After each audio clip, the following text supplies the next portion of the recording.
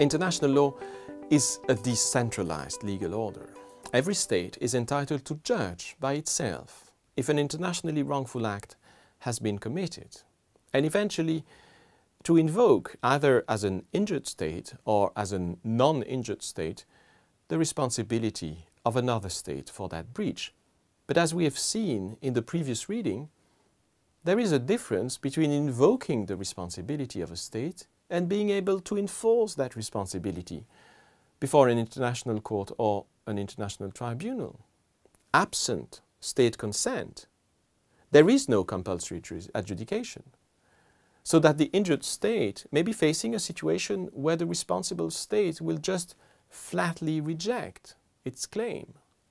If that is the case, the rules on state responsibility and international law in general will risk being completely ineffective.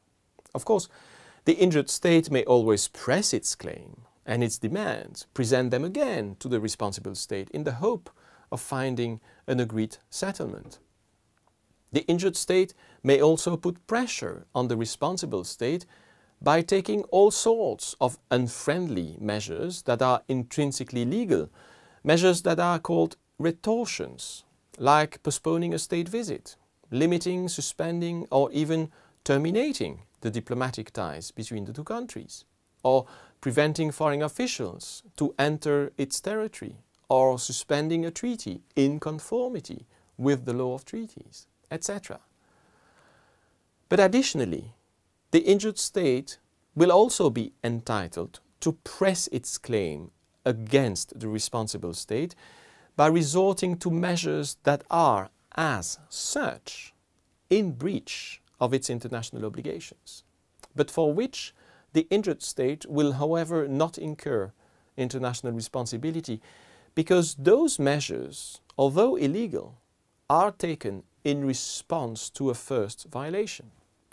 For instance, the injured state suspends the application of a trade treaty or the benefits of any other international obligation it owes to the responsible state, like the benefit resulting from an air transport agreement, while such suspension cannot be justified under the treaty itself or the law of treaties in general. Deliberately breaching the law in response to a first violation is not much different from taking justice in one's own hands. Measures of self-redress are usually forbidden in municipal law. By contrast, such enforcement measures are not prohibited in international law. And in fact, reciprocity, quid pro quo, is at the heart of international law, and reprisals have been traditionally tolerated in international law. And as we shall see in the last part of this course, armed reprisals are now, as a matter of principle, prohibited. But non-forcible reprisals are still very much part of international law today. And today, those non-forcible reprisals are called countermeasures. The second chapter of part 3 of the articles on the responsibility of states for internationally wrongful acts is about countermeasures. We have already come across the notion of countermeasures as a circumstance precluding wrongfulness under Article 22 uh, of ARSIWA. But it is time now to make it more explicit and to try to understand what are countermeasures, when and why it is possible to resort to, countermeasure, to countermeasures, who may resort to countermeasures, and how countermeasures must be exercised. All those questions are dealt with under Article 49 to 54 of the Articles on States Responsibility. Those articles reflect, to a large extent, customary international law, even if some of the procedural requirements set out in those articles probably still need to be confirmed by state practice. And because the ILC has codified countermeasures, and that such codification represents acceptable international law, it is very likely that state practice will actually conform with them in the future. Let us first recall what is a, a countermeasure. It is an internationally wrongful act taken in response to a previous internationally wrongful act. As stated earlier, countermeasures are intrinsically illegal and are therefore distinct from retortion measures, which are unfriendly but intrinsically legal and therefore unregulated by international law.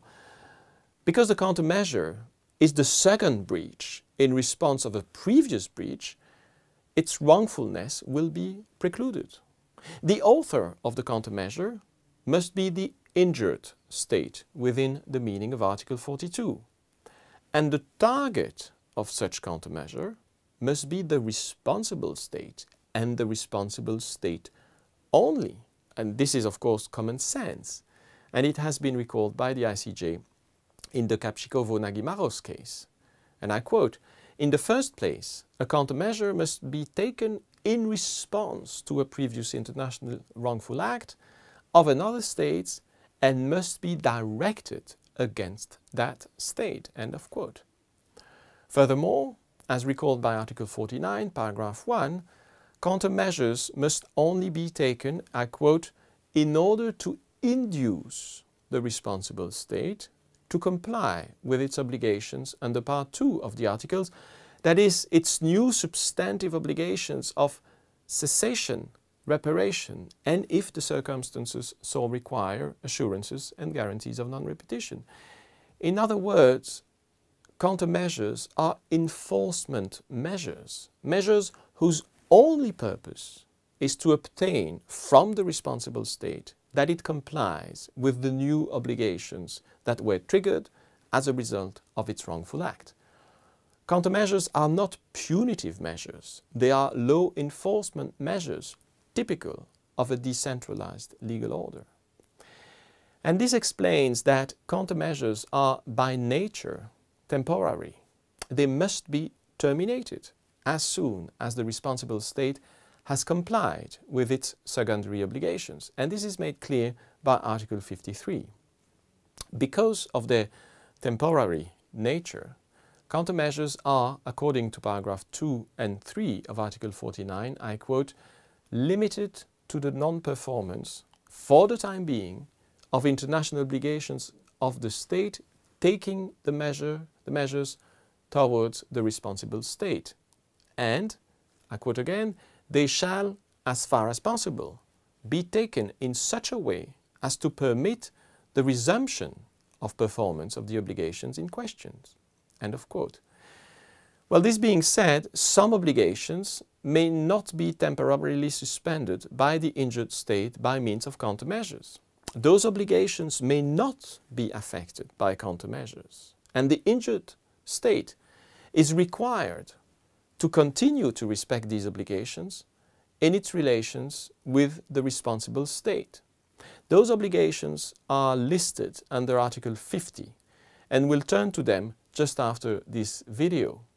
Let me end this video by recalling the two customary principles limiting the exercise of countermeasures. Countermeasures can only be resorted to if they are necessary to protect the rights of the injured state. And they must be resorted to in a proportionate way. Let us turn also to those requirements in the next reading.